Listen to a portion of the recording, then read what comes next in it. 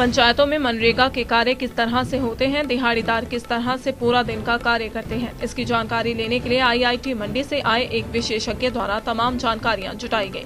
खंड विकास अधिकारी कार्यालय में तैनात कनिष्ठ अभियंता सुनील कुमार ने बताया कि आईआईटी मंडी से आए टीम लीडर अरुण जसवाल द्वारा पंचायतों में पहुंचकर मनरेगा कार्य की जानकारी जुटाई गई और सर्वे रिपोर्ट तैयार की गई।